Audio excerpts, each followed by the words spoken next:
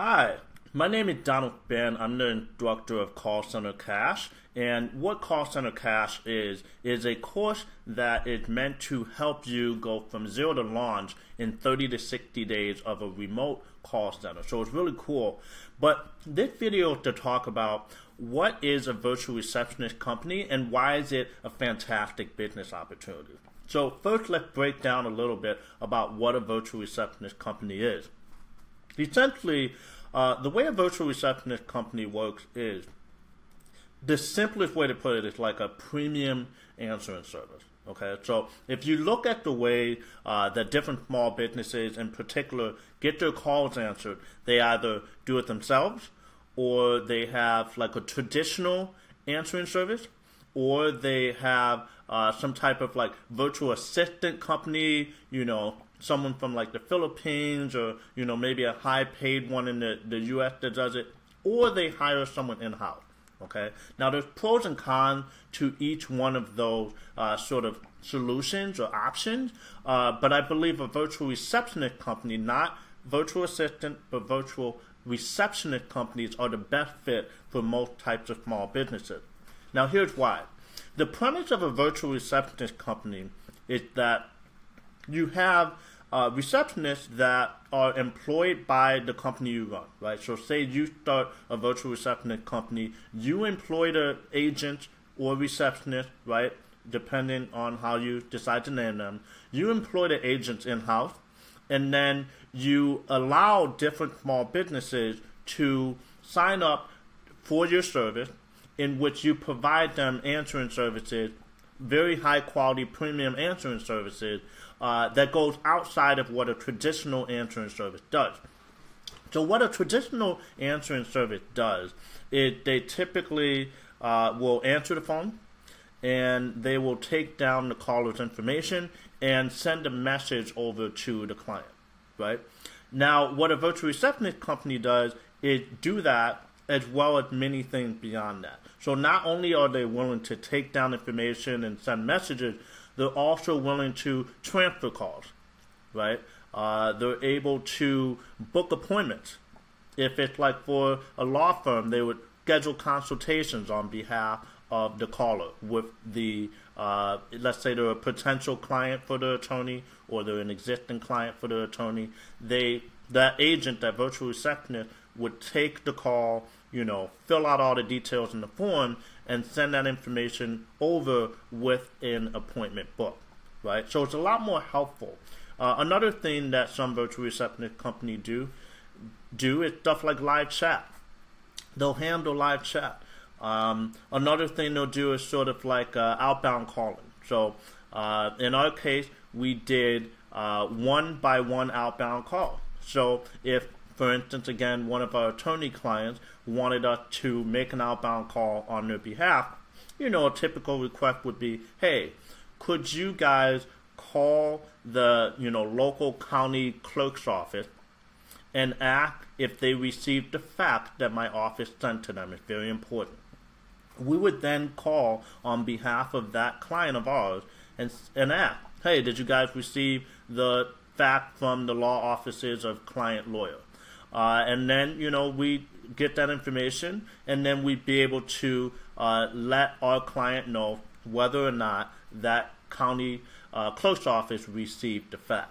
So it's just, it's a very simple, uh, you know, not very complicated service offering. But again, because it goes a little bit beyond what a traditional answering service does, not only are we able to charge a higher premium for it, um, is something that people want, that small business owners want. So, uh, how does it differ from like a virtual assistant? So, a virtual assistant company, what they typically do is rather than being an emphasis on phone call, they're task based. So, sometimes they'll be the ones handling the phone.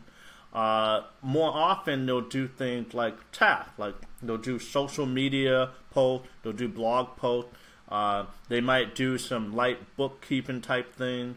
Uh, they might do, you know, market research if someone is considering entering a new like market segment or whatever. They'll do some market research. They tend to do a lot of the tedious stuff that the uh, their client doesn't want to do themselves.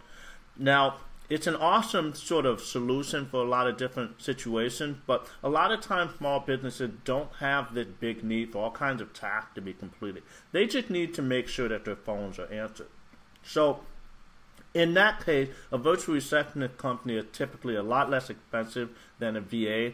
And again, it's a more pointed solution to what that potential client actually needs. And I believe it's a much larger, broader pool.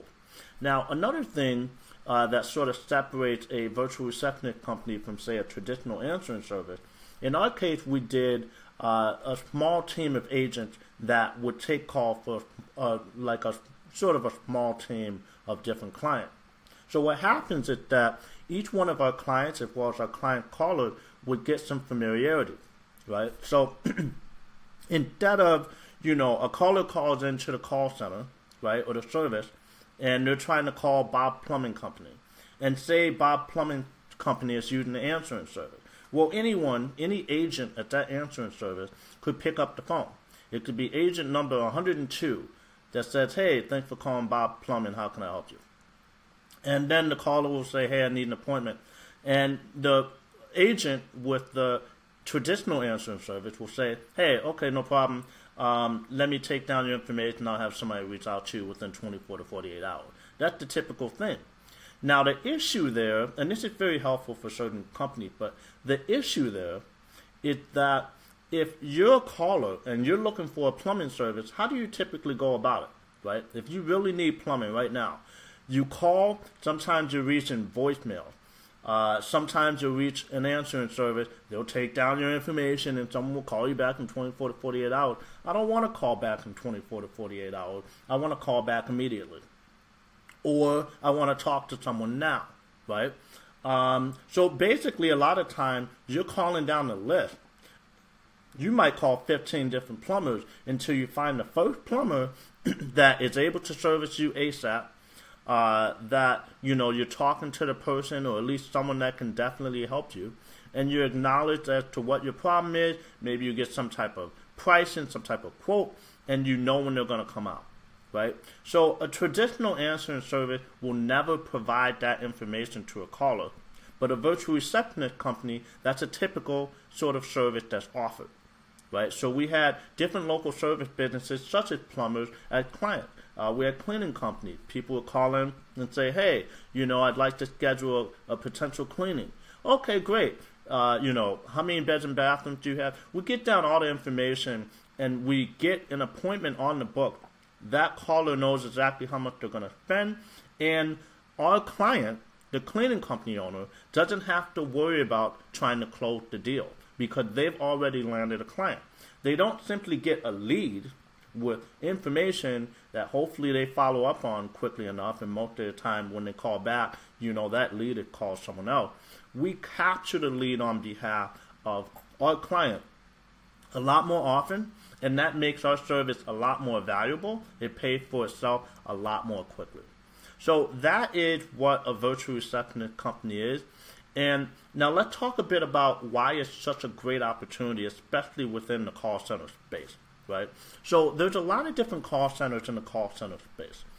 Um, and I'm going to talk a bit more about this in a separate video, but there's basically four different types of uh, call centers.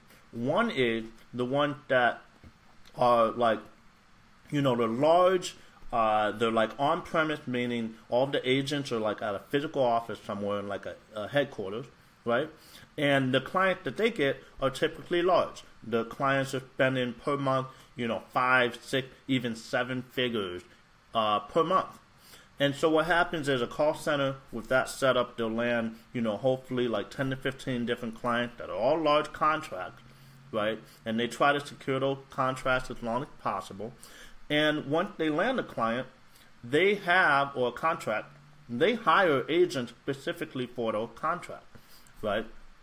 Um, and this is for independent call centers. Internal call centers, like you know, Sprint would have their own internal call center. That's different. You're not going to be the one that creates an internal call center for Sprint unless you're a freelancer. So, in terms of having an independent call center, uh, that's one of the types. Another type is um, you know, like these large remote call centers that are like overseas, Um, you know, depending on what country you're in, not all of the viewers of this video, of course, are going to be from the U.S. or Canada, right? So, say you're in the Philippines right now, um, for some reason, you know, your company want to have a call center out of India. Uh, those types of call centers are pretty prevalent right now. Again, they're large. Oftentimes, they're centralized. Uh, and the focus is more on like customer service. They're not doing things like trying to, you know, close clients or all kinds of stuff. Customer service and tech support. Again, they're trying to large, land large contract, and what happens is that when you have 10 to 15 different large clients, if you lose any of those clients, well, that has a drastic impact on your company. And so with the virtual receptionist company, in our case, all of our clients were small. They paid us a few hundred dollars a month on average. So instead of having 10 to 15 of them, you have like a few hundred. And when you have a few hundred clients, if you lose one of your clients, it doesn't impact your business at all. You're not letting anyone go. There's no layoff. You don't have to like, you know, change your business plan or whatever. And the beautiful thing is, because you're not beholden to the contract size of each of your, you know, typical size clients, you don't have to focus on all of these things to make sure that they're happy, right? Now, obviously, when you go into this type of business, you want to make sure you're providing a high standard of service, but you don't want to have to sacrifice the whole of your service offering just to please one or two of your clients. And so, with this model, you don't have to do that.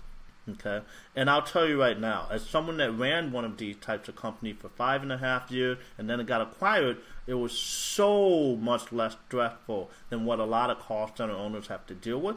And frankly, our turnover in terms of like agents and stuff was very low. Uh, in fact, it was less than ten percent as a result of having a much less stressful model.